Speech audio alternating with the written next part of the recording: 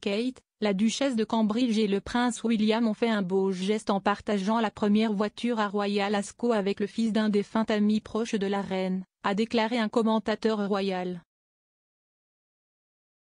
Le duc et la duchesse de Cambridge ont conduit aujourd'hui les membres de la société à l'hippodrome d'Ascot alors qu'ils prenaient place dans la première partie de la voiture du cortège royal.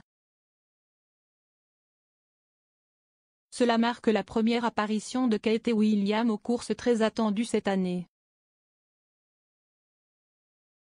Si est également une autre première pour le couple royal, qui n'a jamais monté dans la première voiture dans le cadre de la procession royale d'Ascot. Aujourd'hui, Kate et William ont partagé la voiture avec l'honorable Arthur George Vestet, dont le frère aîné est un ami proche du duc et un camarade Old Etonian, et sa femme Martha. Arthur est également le fils de l'ami de la reine et ancien maître du cheval, le baron Samuel Vestet. La décision de monter dans la calèche avec les Vestet a été décrite comme un beau geste par le commentateur royal Richard Eden. Point il a écrit sur Twitter, beau geste du duc et de la duchesse de Cambridge pour inviter Arthur et sa femme, Martha, à voyager dans leur calèche. Arthur a perdu ses deux parents pendant la pandémie. Son père, Lord Vestet, montait souvent dans le carrosse de la reine. Point sur le chemin de l'hippodrome, Kate et William ont été aperçus en train de discuter aimablement avec leurs invités. Point comme le vent soufflait, Kate a dû tenir son chapeau à un moment donné pour s'assurer qu'il restait en place. Point alors que leur calèche entrait dans l'hippodrome et passait devant les enceintes, Kate a souri largement et a salué la foule de fans qui se sont rassemblés ces dernières heures.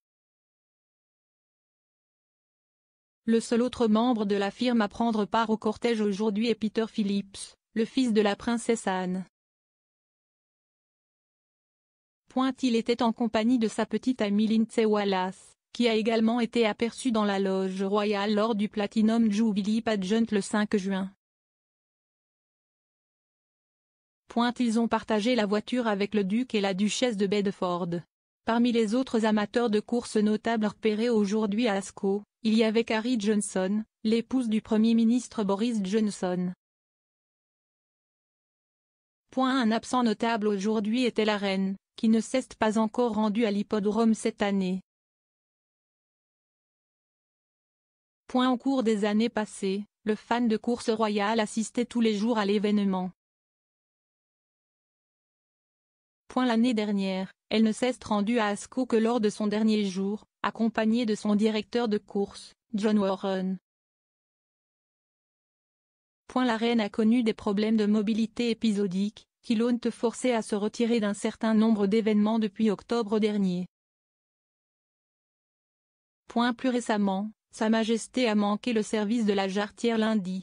Cependant, elle a assisté à la cérémonie d'investiture qui s'est tenue auparavant à huis clos au château de Windsor. Point Kate et le prince William n'assistent pas à autant d'événements équestres que les autres membres du cabinet. Point alors que le duc est un cavalier passionné et un joueur de polo, la duchesse serait allergique aux chevaux. Point néanmoins, on pense qu'elle a encouragé ses trois enfants à se lancer dans l'équitation.